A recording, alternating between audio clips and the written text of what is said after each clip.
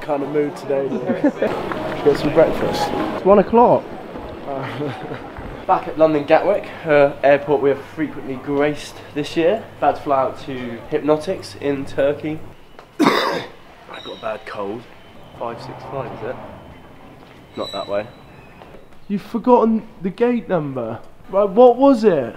I can't remember. I thought it said 565, but maybe it was 556.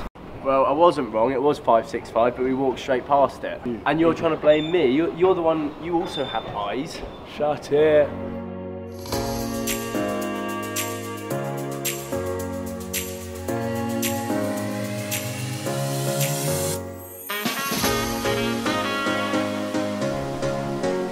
We've just arrived here at the beautiful HipNotics out in Turkey. The park is looking better than ever. Perfect conditions, a great crew of people out here. They got a whole new setup out here, so let's get out on the water.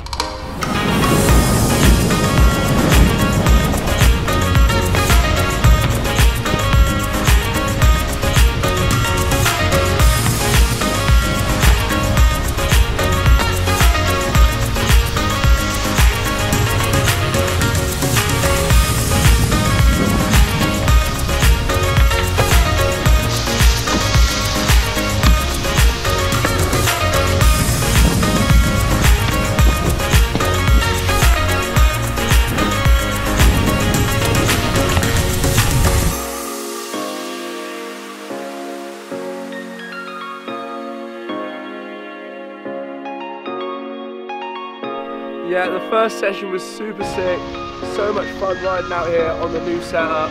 But unfortunately, the session didn't end exactly how we planned.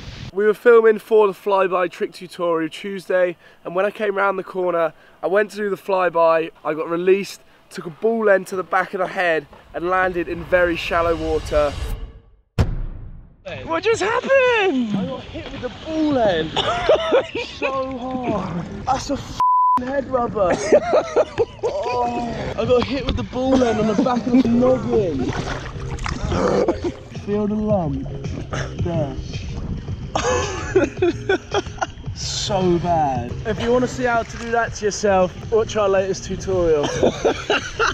Yeah, it's been an insane day out here in HipNotics, and right now we're about to head into Side for some dinner with the crew. We've just arrived in Day. We've left it in the trustful hands of Agni to book the restaurant and all this stuff. The whole crew is here and we're off to get some dinner.